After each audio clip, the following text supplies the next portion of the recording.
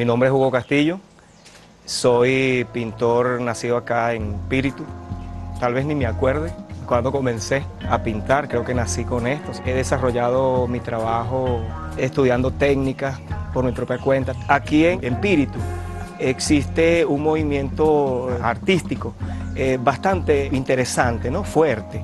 He sido siempre, digamos, amante de la figura humana. Me ha gustado muchísimo trabajar la figura humana. Hay mucho de diseño gráfico, eh, hay un trabajo de dibujo, parecen más bien como fantasmas, pareciera como que son impresiones más bien de las personas, me gusta eso. Me siento más libre trabajando sobre el papel que sobre la tela.